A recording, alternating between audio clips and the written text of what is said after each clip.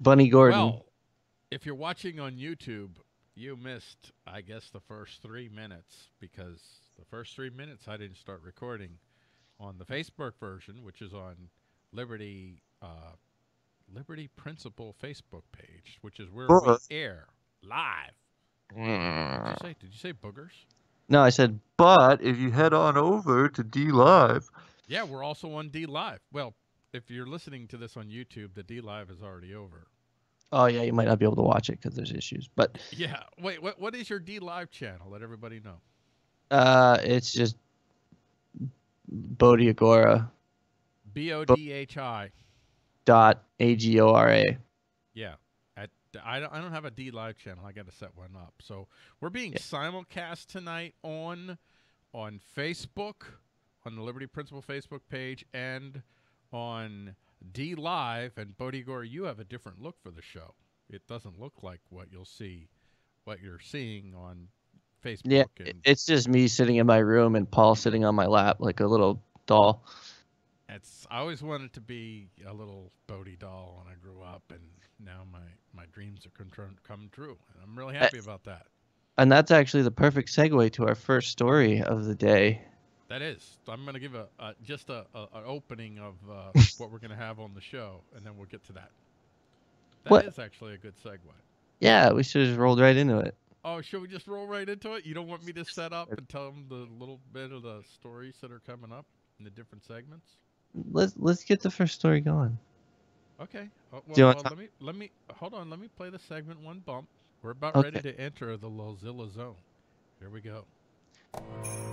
When you're battling the powers of coercive associations, it's nice to take a step back and remind yourself that yes, it's okay to have fun, to laugh at yourself, and hey, maybe even laugh at others now and then. Welcome to Lulzilla, Lulz for the Lulz. This is Lulzilla Lulz for the Lulz, and we're talking about Paris gets a sex doll brothel. Sex doll, Sick little brothel. It's fantastic.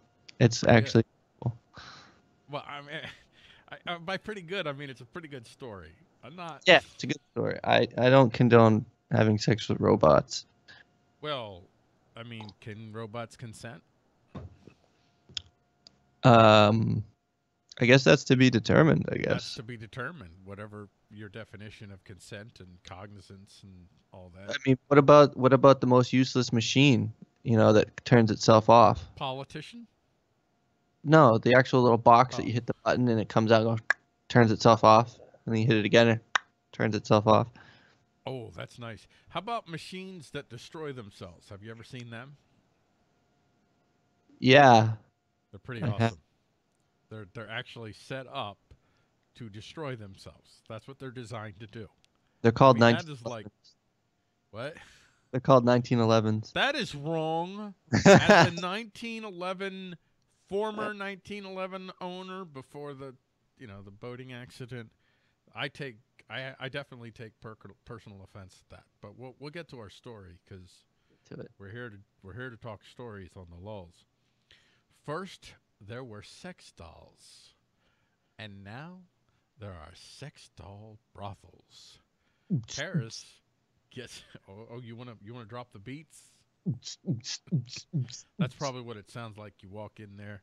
Paris gets its first Ba- sex. na-na-na. Ba-na-na-na, na-na-na-na, It's gonna be na-na-na-na. show, folks. I'm gonna murder him in his sleep.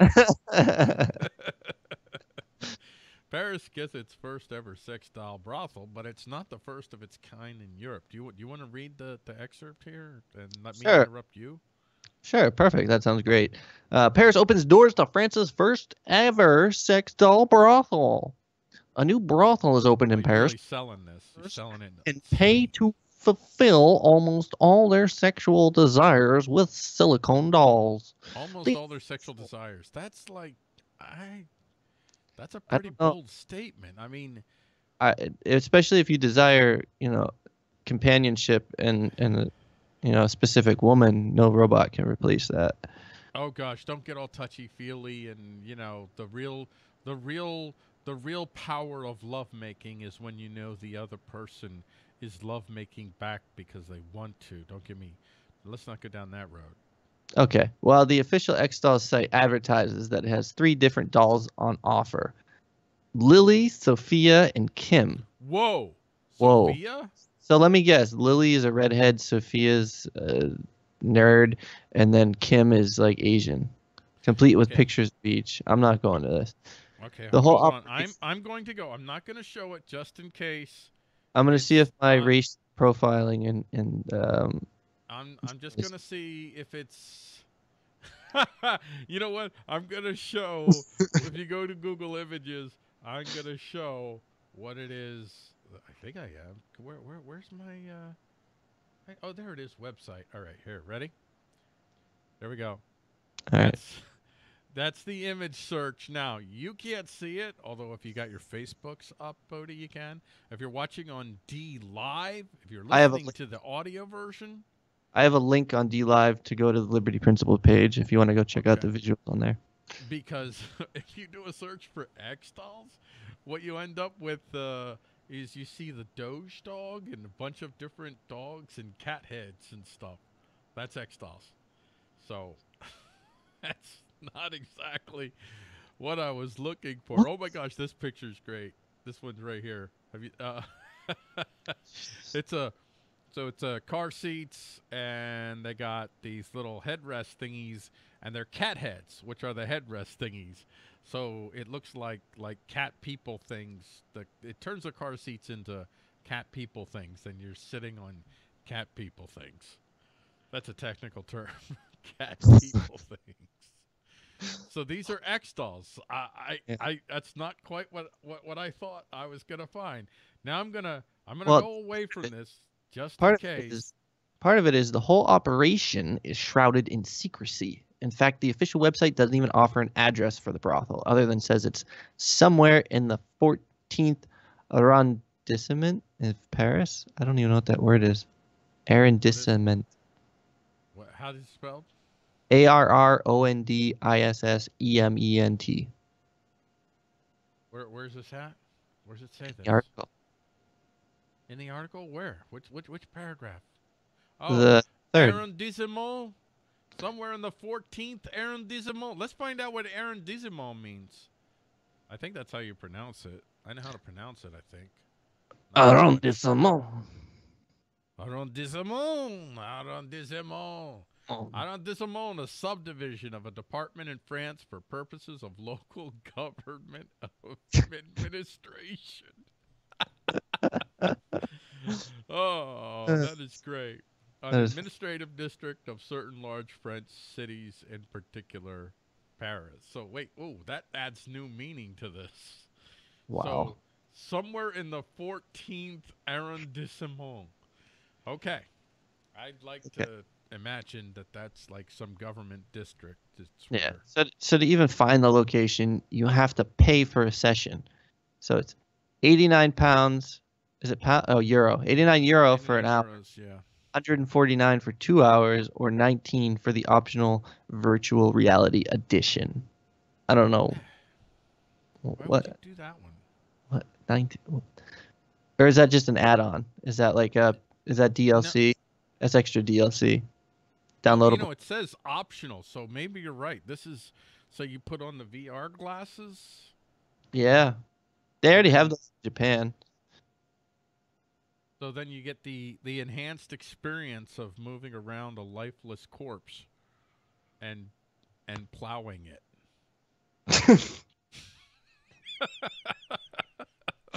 to put it bluntly, yeah. Am I right? Yep. Can I get a witness? So while a sex doll brothel is new for Paris, other European cities have embraced the trend in recent years. There have been sex dolls for hire for three years in Gateshead in the UK, which made headlines for its "Try before you buy" policy. What the fuck? That's whoa. all righty, all righty. It's a family-friendly show, even though we're talking about Yeah, this isn't family friendly at this point.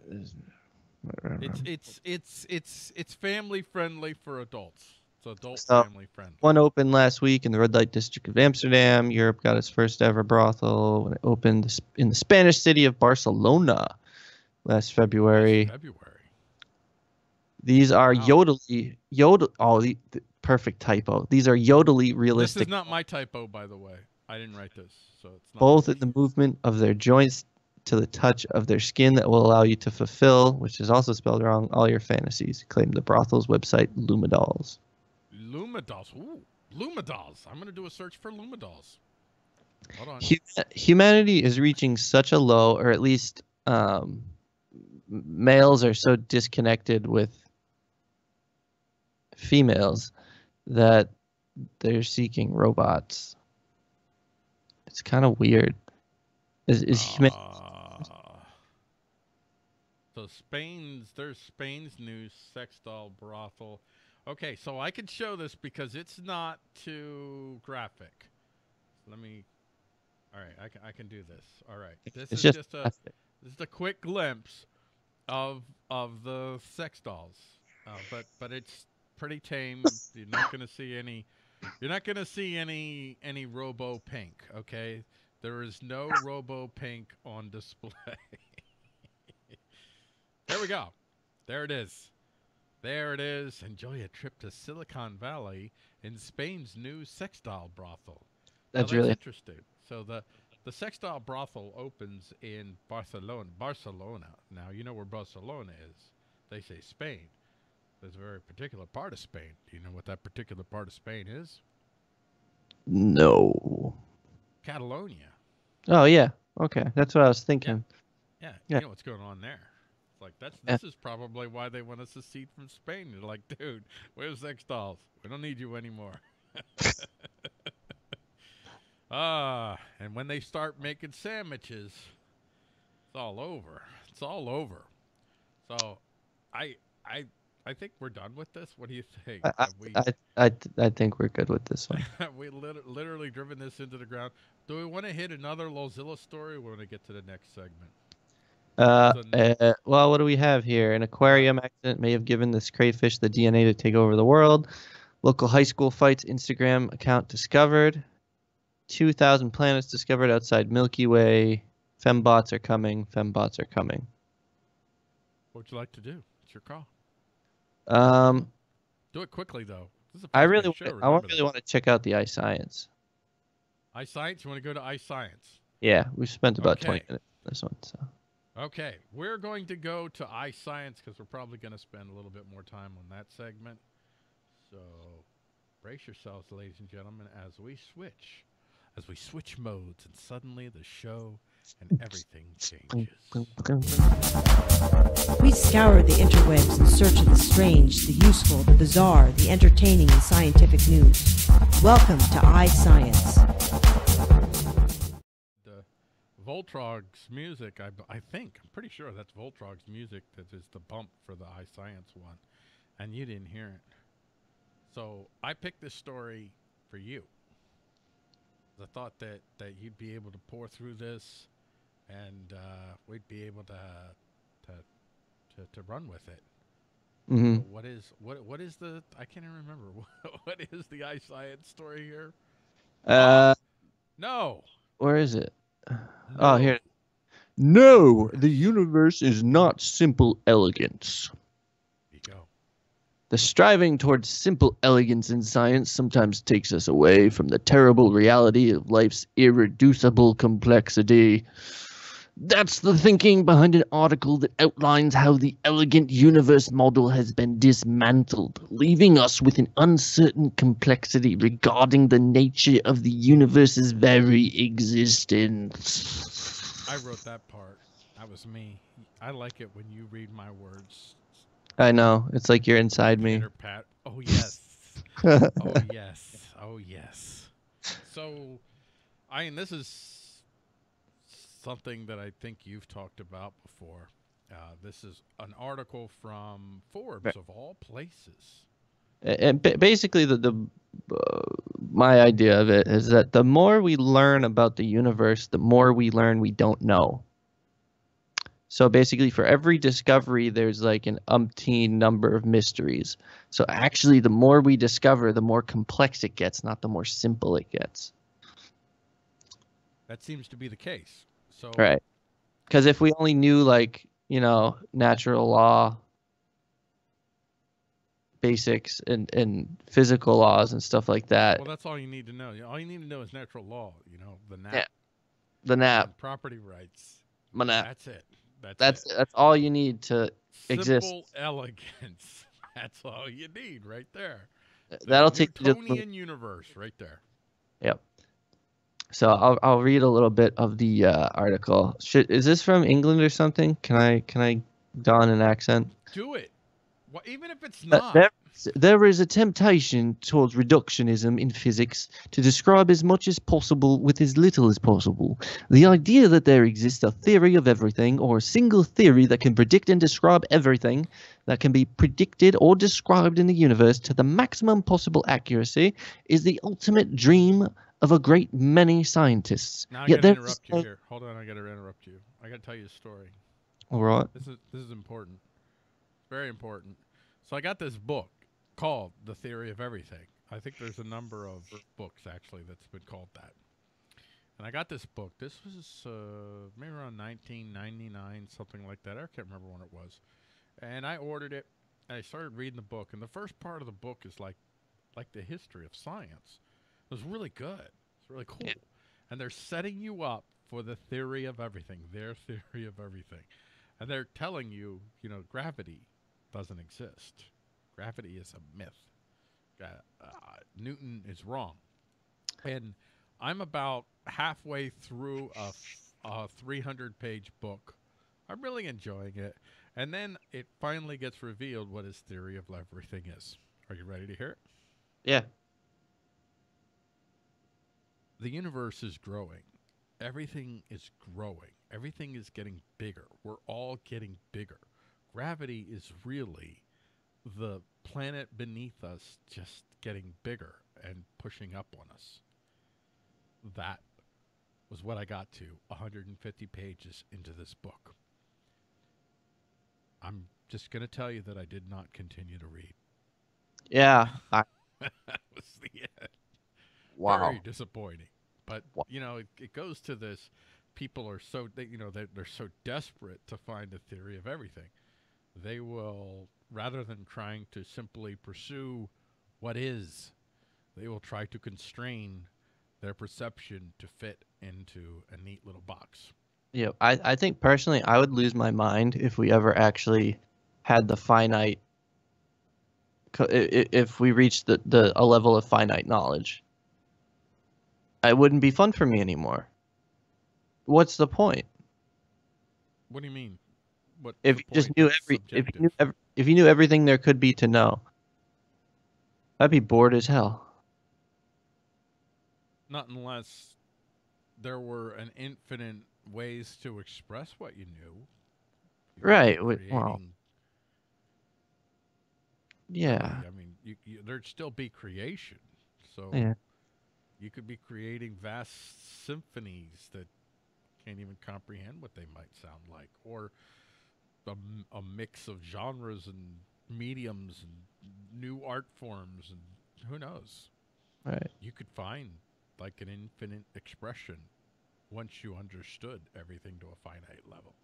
Right, and I mean, then you get into super tasks and and completing the infinitum, uh, but that's it's more theoretical. It's still useful, but it's theoretical. I'm just saying, if I knew everything, I could probably not be bored. I think I could have fun with it. Yeah, But maybe. you would have a problem. You would definitely have a problem. I would have a huge problem. You'd see stuff, but you're like, I know what I'm going to do. I'm going to pick it apart, and I'm going to dice. Oh, never mind. Never mind, I can't. It's correct. You're like, what did you just? Oh, yeah, that's right. That's correct. So the the article goes on. I think this is, this is a good point. Uh, the lesson that the lesson from Kepler is not that we must refrain from asking what seems to be fundamental questions. The lesson is that we cannot know whether there is any simple answer or where it may come from. Yeah, I I rest very. I mean, it was a long while, a long time where that was a real problem for me because I actually, I still have this tendency. I like to control things. I don't know if you figured that out about me. I'm well aware. so this was a hard thing to get over, but now it's a source of comfort that I, I, there isn't a simple answer, and I don't know where everything came from, and yeah, that that that that has put me to a place. Actually, in a lot of ways, this is how I've got to my stand on your preferences thing. It's like everybody's trying to chase around statistics and morality to justify this is why you should be this way rather than no no this is my preference and uh, you know i have my boundaries so if you want to try to impede my preferential path i may decide to take action against you because of it and that's it that's Yeah. simple But it goes on. Uh, elegance, beauty, and reductionism may offer some tremendous opportunities for successfully predicting new physical phenomena, but there's no guarantee these predictions will be borne out in reality. When it comes to uncovering the next great breakthrough in fundamental science, our hopes and dreams that will be closer to a unified theory of everything through mathematical beauty and additional symmetry is a common one, but is no sure thing. May we all be as open to whatever the data tells us as Kepler was, and be, and be willing to follow it no matter where it leads. That's beautiful. That is heartfelt beauty right there. That just It just keeps- the yeah. page and out of your mouth. It was the thing to behold. But that that's the idea. I think I think the unified theory of everything is the antithesis of science. It closes doors, but Yeah. something.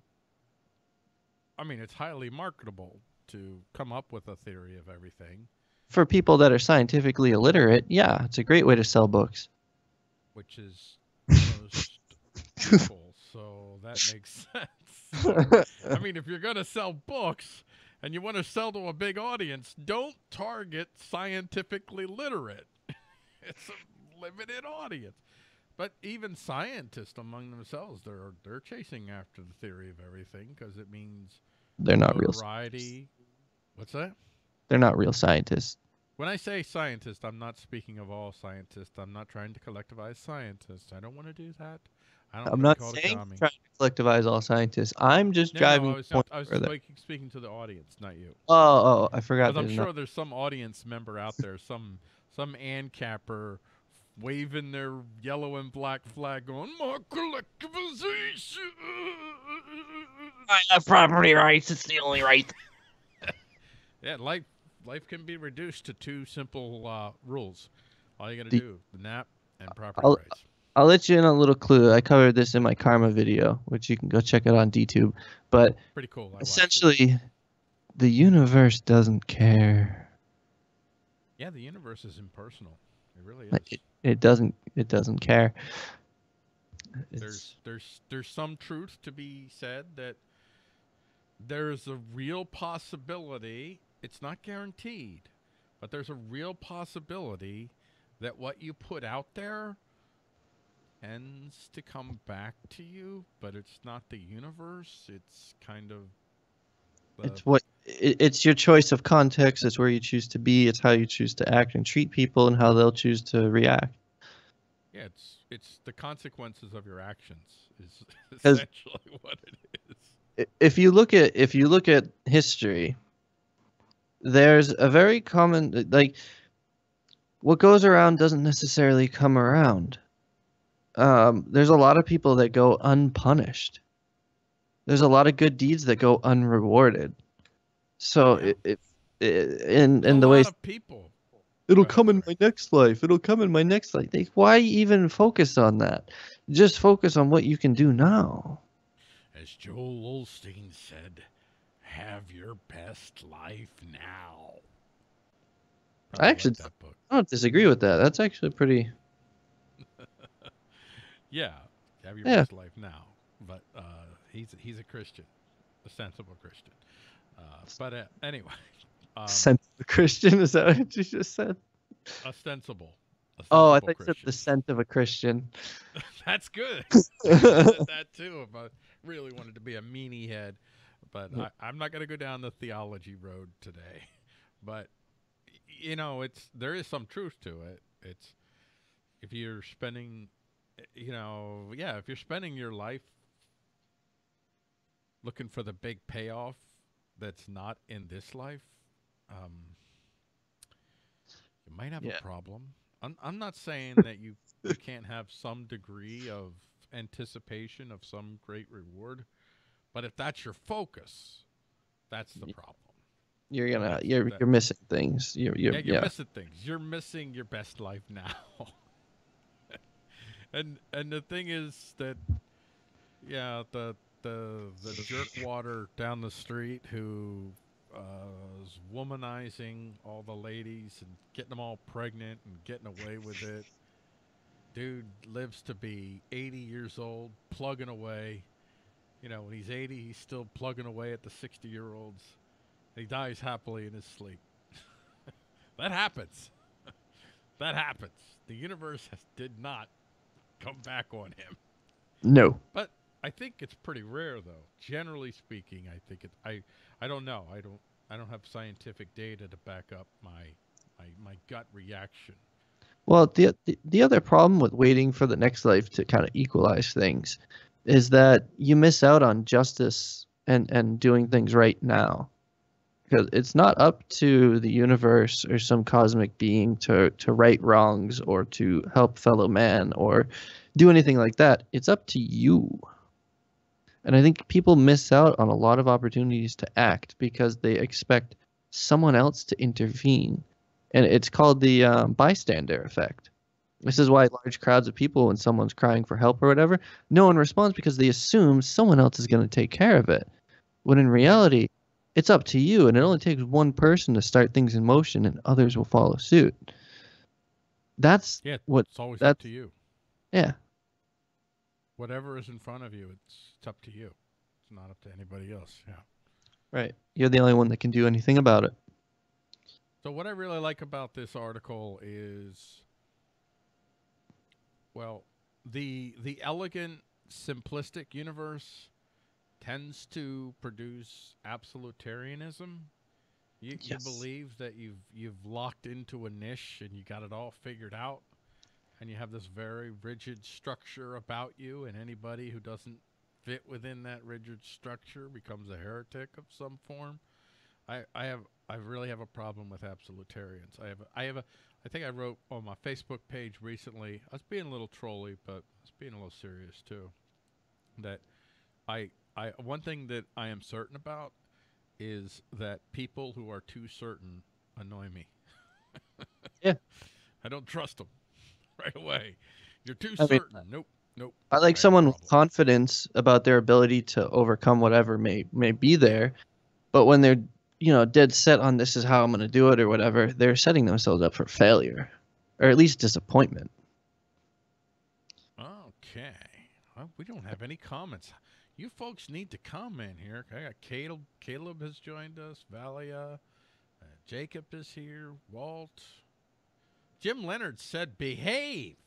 There you go. Jim. Jim. Jim commented there. I love Jim. He's a good guy. I don't know if you got any comments on your D lives or not.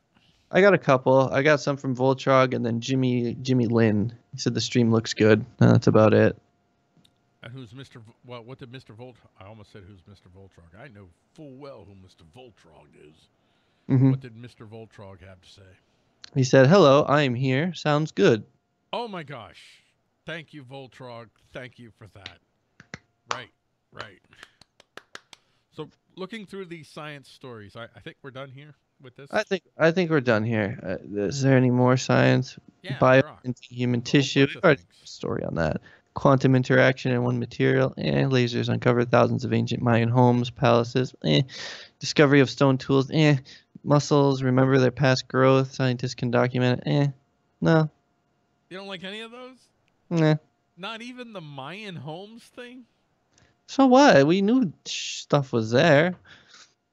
Yeah, but it it it changes people's assumptions about these civilizations that they're far more complex and possibly a lot older than than they thought. Oh, they they're not saying for sure if it's older, but still. It certainly doesn't. For me, that doesn't change anything. That's just like okay. Okay. I, I think that there are probably people that are watching and listening that would probably think that's cool, but All right. Do you want to go? You want to go see not what? what necessarily. No, I just uh, I, actually I was just teasing there. I don't. I'm hoping that the audience will comment if they want to hear that. if you want to hear that, if you want to hear about lasers or you want to hear about the stone, t- that's interesting. The stone tools in inner India. Essentially, the the India story is they found stone tools that are they're I think they're dated to like 365,000, 385,000 years ago, while the current theory is that uh, advanced hominids didn't arrive in India. Tool making hominids didn't arrive in India until 140,000 years ago. Hold on. I'm going to click on that. I want to see what they use. The stone tools that were dated, but what was the dating method? If it's carbon dating, that could be off by frickin' thousands of years. So, a huge find in India may have tremendous implications as far as our understanding of mankind's migration out of Africa, and it certainly challenges. Okay, whatever. I already. uh, It's 385,000 years ago. The tools were found at Adar Ah, Adirampakam. Adirampakam. luminescence dating. Luminescence dating. What do you know about that? I don't know anything about it. Nothing. I don't know anything about that. Luminescence dating. So that's that's how they dated it. And I don't know anything about. Let me see if I can find something on luminescence. Luminescence dating. Uh, is a type of dating methodology that measures the amount of light emitted from energy stored in certain rock types and derived soils to obtain an absolute date for a specific event that occurred in the past. There it is. Absolute. That's what he. That's what he read for. An absolute date. Absolute date. Oh my gosh! Did that word trigger you just now? It did. Radiation dose range of 150 per thousand years. So it's a, it's about a thousand. It's within an accuracy of a thousand years. So they say. So they But- say. Yeah, I, I, you know, now here's a here's a case in point. Like, how certain are you? Like, do you just take it at face value? And I don't take it at say face value. I don't assume that this story is totally true. I also don't assume the story is totally false. I'm like, Right. that's, that's interesting. Well, I'd like to I'd like to learn more. I'd like to see where they go. I'm kind of hoping it's true though. I'd love to see. I'd love to see timelines getting messed up. I Yeah. I, I'm of a belief that we may very well have had, and and this is gonna sound crazy. I I think that there's at least a chance that there have been complex civilizations that have come before us that are completely disappeared that may have happened two or three other times that we don't even know about that for one reason or another they were wiped out like you know when when uh, the, the the flood waters rose and and we lost all the coastlines so it was about 12,500 years ago somewhere around there I don't think there's been any evidence of a global flood. you don't No. I've I've heard a lot of evidence about global floods and It all goes back to the Bible. No, no, it has to do with what archaeologists have found. You know, like strata that indicates a floodplain and other stuff. Really? So yeah, you know, all kinds of evidence of not necessarily a global flood, uh, and I'm not talking about a global flood. Anyway, Oh. what I'm talking about is A localized not floodplain. localized. It's it's it's well, it's global in the sense that uh, when the ice age ended, when the last little mini ice age, when the ice age twelve thousand five hundred years ago, had a little global warming, and he's waving, waving to his gal pal, gal pal Friday. Gal Pal uh, Friday. It's What Tuesday. What happened was the the oceans rose.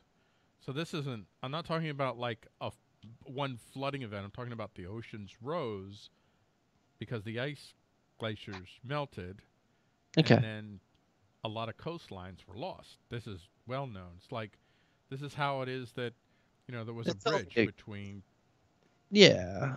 You know the Bering Strait. There used to be a land bridge there. That's gone. There's a Mhm. lot of coastline that's gone around the world after this. And where would where would your early civilizations have been? Most, even now, humans tend to, they tend to gravitate towards rivers and coastlines. Still do. Yeah. Like Yep. two thirds of the population of the United States is along its coastlines. That's why if you live near a city, not if you live if you live in a city that's not near a body of water, you're dumb. You're for the dumbs. Yeah, Yeah. absolutely. You're for the dumbs, unless you have a really good gray water system going on and and uh, stuff. Then Yeah, maybe the groundwater. You're still close to a body of water, but that's that's driven most of civilization. So Yeah, so it wouldn't be. I don't think it would be ludicrous to imagine that underneath the seas, deep underneath the seas, there may lie civilizations yet to be Yeah. discovered. Like they just discovered Göbekli Tepe, whatever it's called, up in Turkey. Giblet tet. whole- what, what, what? Yeah, sure. Why not? That that whole it's a, like a massive religious complex, or they they think it's religious. They don't know for sure, but they I think they. That's all of that's all of Turkey now. What's that? That's all of Turkey now. It's a giant theocratic state. Yeah, but this is different. This is not. I hate Turkey. Oh well, I have a new name. I I I, I, I call them something. Oh yeah. Yeah, I call them. I, I call them the Turk Reich. I'm gonna get my. I'm gonna let everybody get a look at uh, Göbekli, Göbekli Tepe. It's probably So you see what it- it's probably a J or a Ch. Th- th- th- this was uh, discovered. I don't know, back in the 90s.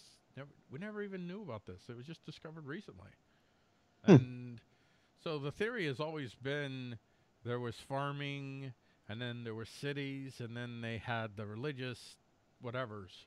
Well, here they they find evidence that suggests possibly, I wouldn't want to say definitively that this is religious in nature, but it suggests that there was this these massive religious complexes but there was no evidence beside it of of of massive civilizations you know cities and whatnot. So what wh- wh- wh- why did this come into being? Hmm. uh, kind of it's kind of messing with the theory potentially messing with the theory.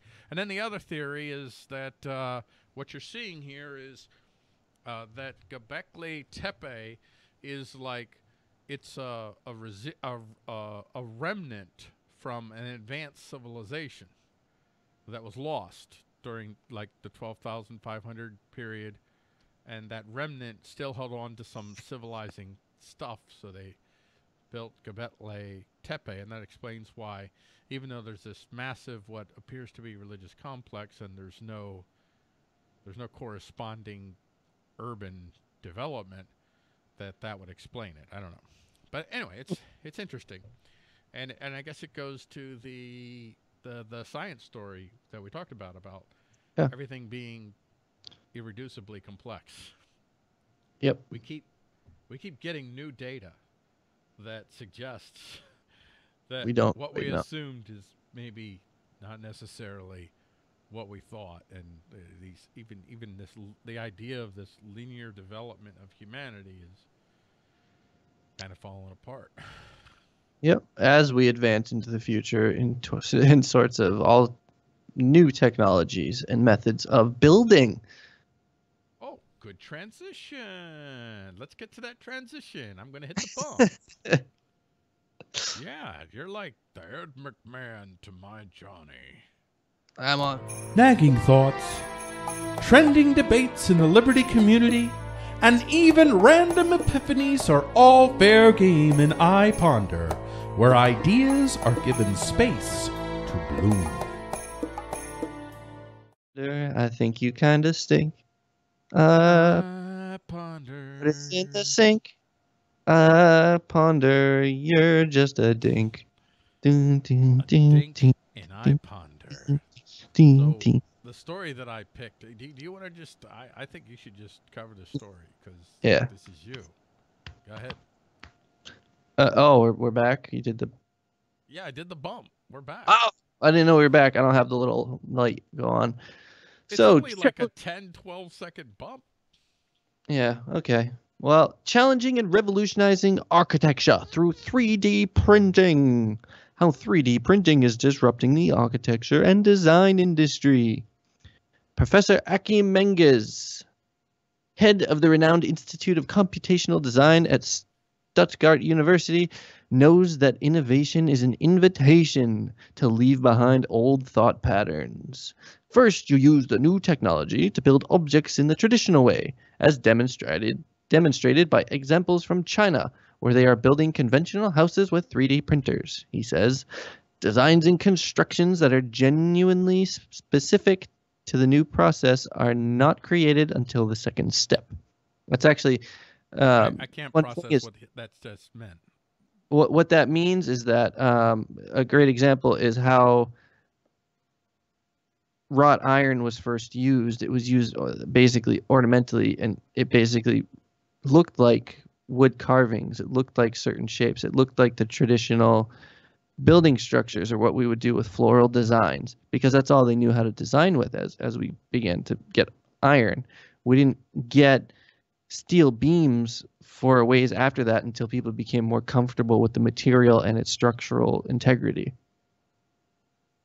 So what he's saying then When is we, get, when we get a new technology, we use it to do what we already know how to do. We don't use it to push to the new envelope yet until we build with it the old way and then understand the properties, and then we can extrapolate from there. and I'm showing a picture here of uh, it's a, a 3D printed concrete castle as as one example. There's a picture of a huge 3D printer can print an entire stu- two-story house, and as you can see in the picture, it's it's a conventionally designed home. That's Yeah. that's the point you're making there. Yep. All right, go on. I'm sorry. Even though it allows us to do new things, we just haven't gotten quite we just haven't quite gotten there yet. So this means, for example, that 3D printing will make geometric complexity in building construction possible without much additional effort or expense. This knowledge, in turn, informs the design process. Menges says, just as developments in software change the aesthetic of architecture, so could 3D printing. Because the technology creates components with multiple layers, we will have the possibility of creating very complex building components with gradient characteristics. Okay, could you Com- explain that? What's that mean, gradient characteristics? So, are you, does this just- just mean that you can have more imaginative detail and angles and stuff like that? Is that what we're talking about? Um, well, the idea of layers is like the building the building sandwich. So like you know how you know how like a, a regular sheetrock wall is constructed. You have the two by fours, and then you have um, depending on what it is, plywood or or then um, sheetrock, and then another layer of sheetrock, and then you paint it, and then you have your finished pieces or whatever. You can actually skip those layers because the nature of constructing it could be from bottom up so you can actually have a gradient from you're not oh, building a sandwich anymore. So, what they mean by gradient is, as not not a, not a gradation in design, but a gradient as far as you could be printing from the same material and you could on one part it's harder and another part it's softer. It could have different yep. properties i guess yeah different properties and it's easier you know it also changes the construction process. So as you're printing you can actually leave a cavity for conduits such as electrical or plumbing and stuff. You don't have to build your your structural frame or whatever and then drill holes through it and then run your conduits through it. You can actually print your conduits as you're going. It changes the entire construction process so it makes i'm, I'm assuming it makes it cheaper it makes it uh, it makes it faster it leaves out the um, potential errors and coordination problems. Like you, you're going to be able to build it and coordinate it completely in 3d and then print it as it worked. 'Cause, like when i was working in sprinklers and stuff we would have coordination meetings we would even design stuff in 3d and sit down with everyone and have all these plans or whatever. And then the guy that didn't attend the meeting went out and hung his drain pipe across the beam that you had to run on changed everything with this you're just printing it it's already it's already coordinated before no it even human being can hang their proverbial across the way in a way that blocks or impedes Another- or changes. yeah. Yep. Wow. So so then we're talking about maybe houses won't look like they look now. correct. So They won't have- to They won't have to look the way they look. Because a lot of the shapes, a lot of the sizes and stuff, like even with carpet, you, your carpet rolls come in 12 foot rolls, 12 foot or 15 foot rolls. So a lot of times designers or architects, if they're smart, when they design rooms and stuff, they're not going to design a room that's 12 3 wide right. because then you need to get a bigger piece. You're making more waste or whatever. Uh, same thing with sprinklers. They have a certain dimension to them that's been developed over time based on the standard construction process. What's kind of like with cars. So cars early on, like 30s, 40s, uh, especially the 30s and the 40s, cars were designed. They were designed to last. They were intended for you to have for a while. So they put a lot of effort into cars, and they put a lot of curves into cars. They were very stylistic but curves cost money. Curves are much more difficult to manufacture on a large scale than straight lines. hmm So you ended up gradually cars started to straighten out, and especially when uh, when the when when Detroit caught on that, hey, let's try to get people to buy a car like every year or or, or as close to every year as possible. The new design, the new exciting designs, and so then because of that, then they started to straighten out. You had less curves. Yep. So this is like the reverse. Now suddenly you can add style and individual flair without i dramatically increasing your cost. hmm This is why homes are, I mean, you know better than me, why homes are largely rectangular, straight, and right. It's easy much to build. Easy to It's build. build. It doesn't have to be anymore. And it goes on to say component components. This I think this explains the um, gradient gradient characteristics. Components could be soft on one end and hard on the other due to different printing materials being used in the course of the printing with a multi-material printer. So they could actually print the carpet on the floor Yeah. They, they Or- and or, or make the walls softer so they absorb more sound. and they can they can print your electronic slap. circuits and everything right into it and Yep. Because because that's happening electronic printing. And and if you add to the wow you think about where electronic printing is going. It's becoming micro it's becoming wireless wireless electronics.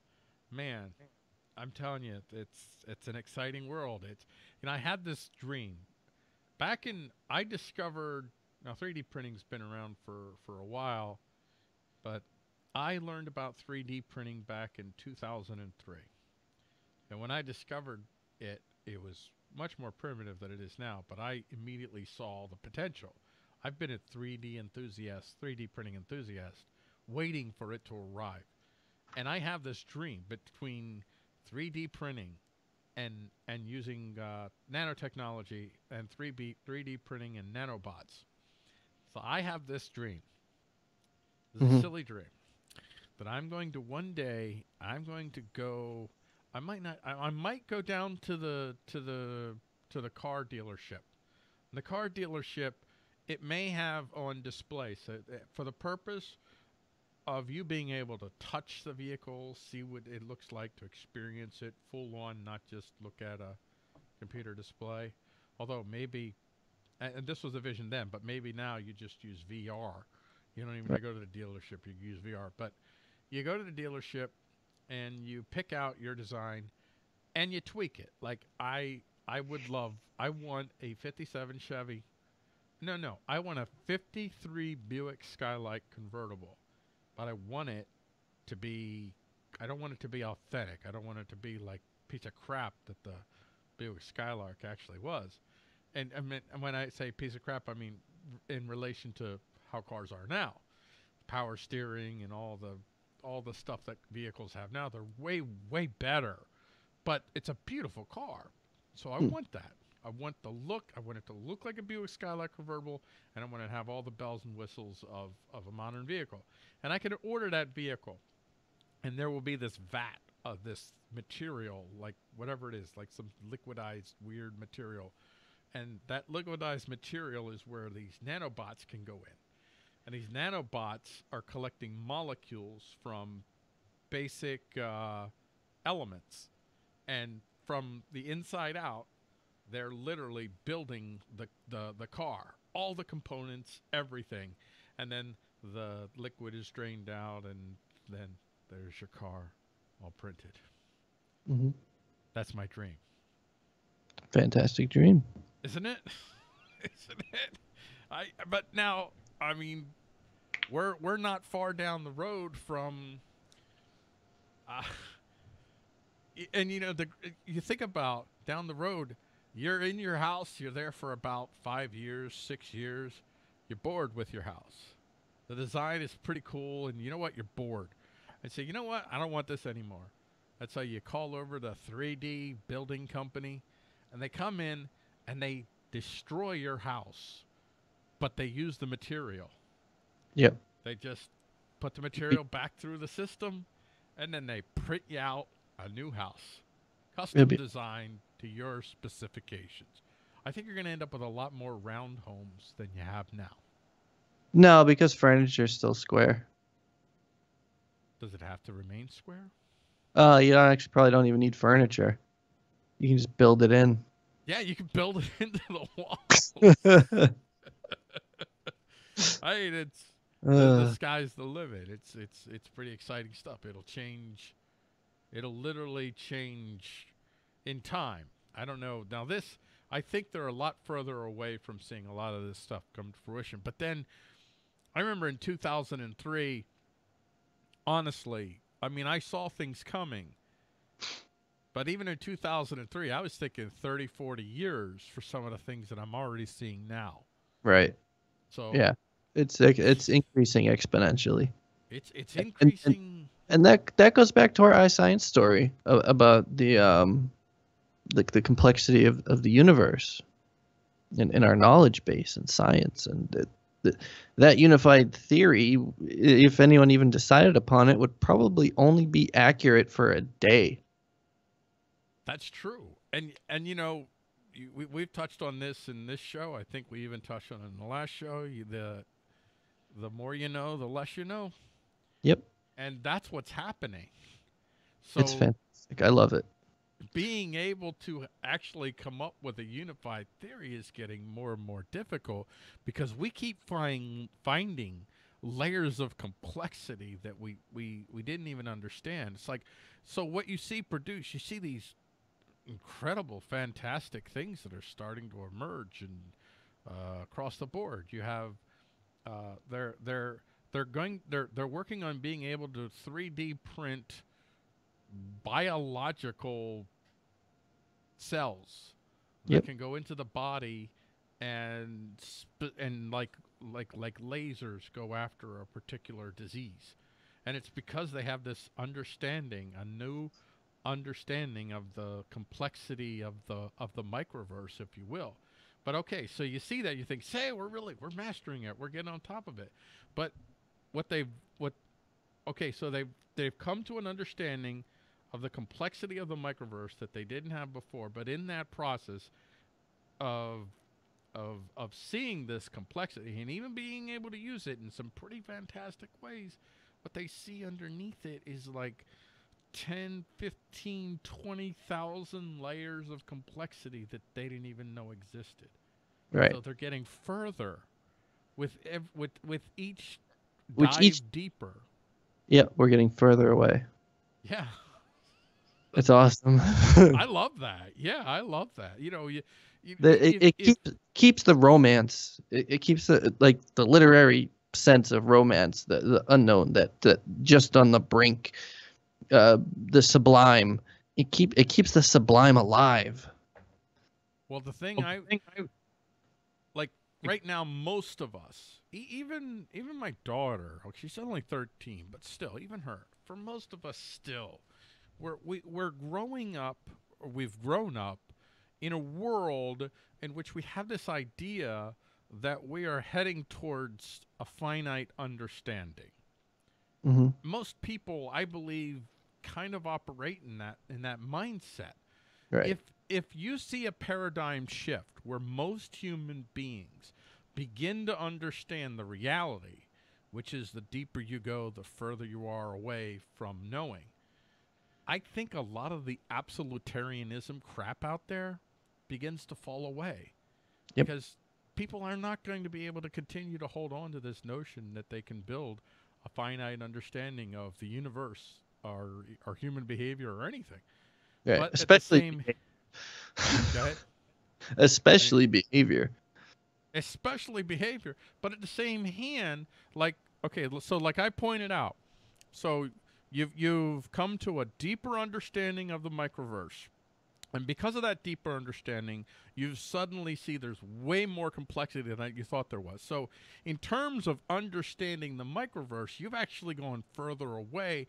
But in that process, you have still come up with applications that can be utilized in a Yeah. very practical way. So it's like the, You know- quest. you- You know more than you did, but now you know less more. the quest towards knowing less yields constructive, useful, have your best night life now discovery. Yeah. Fair enough. Yeah. Is that is that is that what you were saying? Sure. Pretty much. Yeah. yeah. So on that note, I think uh, we we we've uh, we've come to the end of our show. Actually, uh, this is a different vibe. What do you think? Yeah, it's a good show. Good good times. Good times. I, I, I think this is this is This is it. this is how I like this to be. I like this this particular vibe, and Yep. we'll just you know, we'll we'll cover one or more stories or whatever happens. We'll just we'll just go with it. And I and now that I've had I finally got it so that I have scenes to show. I really like being able to show the websites and showing weird stuff like that.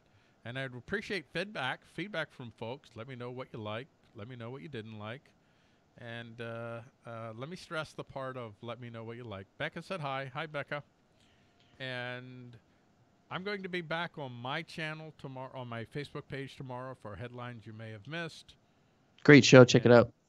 Yeah, it's headlines you may have missed. Actually, a lot of these stories ended up on headlines you you may have missed.